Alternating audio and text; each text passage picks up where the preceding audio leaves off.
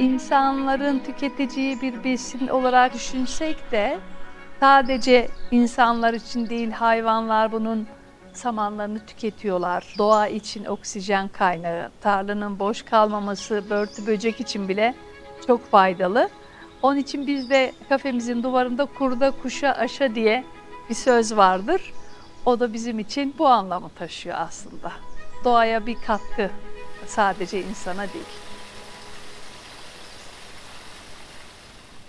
Ben Sevim Özsoy, Siyez Evi'nin kurucusuyum. Siyez Evi'ni bundan 8 yıl önce kurdum. Kendim Kastamonluyum. Kastamonu'nun köylerinde babam öğretmenlik yaptığı için köylerinde büyüdüm. Tarım ve hayvancılığı o yüzden yakinen biliyorum. Köy yaşantısını biliyorum. Sonra ben de öğretmenliği tercih ettim babam gibi. 15 yıl öğretmenlik yaptıktan sonra eşimin işlerinin yoğunluğundan benim desteğime ihtiyacı oldu. Ben de öğretmenliği bırakıp ona destek oldum. O yıldan 52 yaşıma gelene kadar farklı sektörlerde ona yardım ettim. Ama bir taraftan da kendimi fayda üzerine başka ne yapabilirime kafa yorarken Siyez'e yönelmiş oldum. Siyez'le ilgili bir iş kurma modeli üzerine düşünürken tam ne yapacağımla ilgili de çok bir bilgim yoktu. Önce kendi ailemizin tarlalarında bir denememi yaptırsak diye düşünerek tohum arayışına girdim. Tam tohumu bulduk. Kastamonu'da kar yağdı. Kar yağınca artık bir dahaki yıla kaldı. Ve ben o kış hem kendi işlerimi bir taraftan yürütürken Diyez'le ilgili büyük araştırmalar yaptım. Ve yaptıktan sonra Nisan ayında çok az marketlerde numuneler vardı. Çok az biliniyordu. Onları da yanıma alarak Kastamonu'ya ilk gezimi yaptım. Ben İstanbul'da yaşıyorum. Gezide kaymakama, belediye başkanına, ilçe tarım müdürüne ürünleri götürerek bu niye böyle, bu, bu, bu böyle mi olmalı gibi sorular soruyorum ama onlar gerçekten tam konuya hakim değillerdi. Beni daha uzman zannettiler. Bu kadar kışın araştırmışım. Sonra baktım ki çok ekecek çiftçi var, boş arazi var. Öyle olunca da ben kendi aile arazilerimizde ekmeği düşünmeyip projeyi daha büyütüp çiftçilerle sözleşmeli tarım yapma düşüncesine kapıldı. Kastamonu'da bir konak kiraladım. Konağın adında Siyez evi koymuştuk. O da markamızın adı oldu. Konak öyle bir dekore edildi ki hem tarım müzesi hem Siyez'i anlatan bir konak ve benim de şirket merkezim oldu. Şirket merkezim olunca da çiftçi bana daha çok güvendi. Yerleşik, Kastamonulu, şirketi burada, kendisi burada, bir yer kiralamış, burada mal alacak diye benimle rahatlıkla sözleşme yaptılar. Ve o yıl 148 çiftçiyle sözleşmeli tarım modeline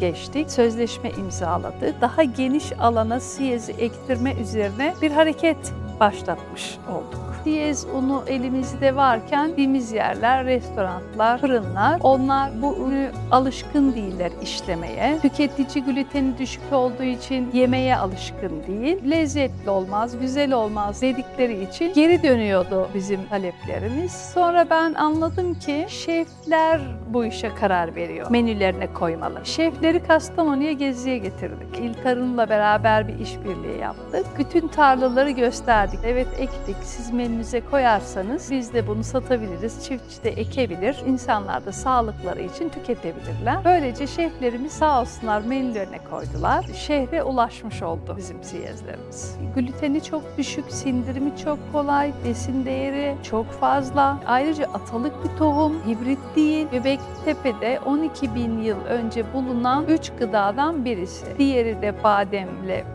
yer fıstığı. Bu kadar eskiye dayanıyor. Buradan da şöyle bir soru geliyor. E Kastamonu'da nasıl o kadar yıl dayanmış? Buradaki çiftçi hayvan yemi olarak ekmeye devam etmiş. Verimsiz arazilerini değerlendirmek için hayvan yemi yapmış. Bunu yiyene hayvanlar daha besili, tavuklar daha çok yumurta vermiş. Ama kendileri bunu beğenip gluten düşük olduğu için tüketmemişler. İstanbul'daki bütün ziyaretlerime ben beyaz fırından kurabiye isterdi. Kurabiye bana gelirdi. Ziyaretlerime beyaz fırının siyezli kurabiyesiyle giderdi. Beyaz fırınla çok güzel bir tanışmamız oldu. Ben bazen birçok şekilde bir marka ile çalışmak için girişimlerde bulunuyorum falan. Beyaz Fırın'la hiç böyle bir girişimde bulunmadan çok tatlı bir şekilde benim konak sahibimle tanışan Beyaz Fırın'da birisi varmış. Bölgeye gelmişler, Siyez aramışlar ama en doğru kim üretir, kim işler denilince benim konak sahibim demiş hocam var. Onun numarasını vereyim. Bizden Turgut Bey aradı beni. Hemen biz bir bir görüşme yaptık, gönderdik numuneleri, beğendiler. 7 yıldır birlikte keyifle, artan miktarlarla çalışıyoruz.